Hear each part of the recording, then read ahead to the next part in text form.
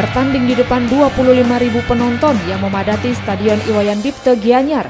Klub kebanggaan Bali United Pusam menurunkan skuad terbaiknya pada partai uji coba melawan Persib Bandung Selasa malam.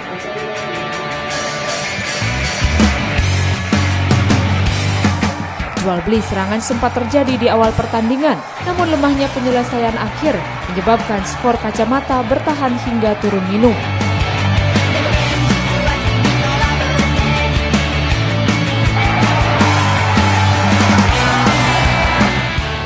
Permainan agresif kedua tim berlanjut hingga babak kedua.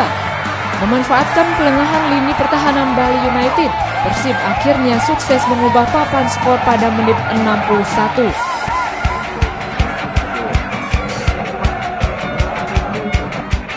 Berawal dari umpan Supardi, Tatan mampu menyontek bola dan tak bisa dihalau oleh Yon Jae-hon, kiper Bali United Pusam. 1-0 Persib unggul.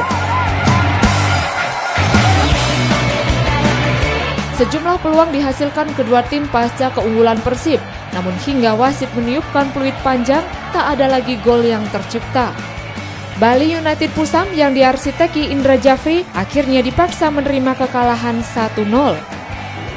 Pelatih Persib Jajang Nurjaman memuji penampilan kedua tim dan menganggap perbedaan pengalaman kedua tim menjadi pembeda hasil akhir pertandingan.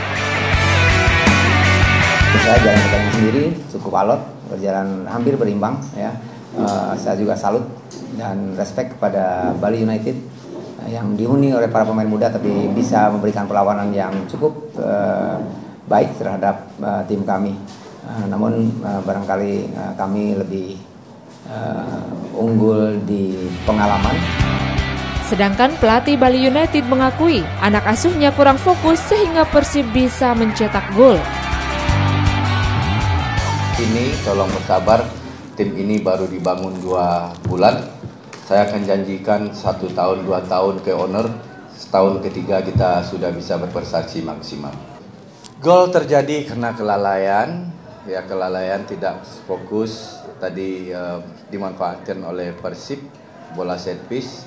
Dipikir oleh pemain-pemain Bali United itu adalah tendangan tidak langsung Laga ini menjadi salah satu ajang pelatih Bali United untuk menguji kemampuan para pemainnya jelang bergulirnya Liga Super Indonesia yang kick-off-nya diundur hingga 4 April mendatang.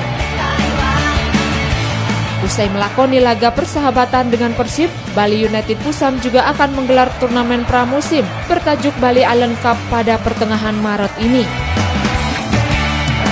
Dewo Priyana, Suarbawa dan Santosa Kompas Dewata.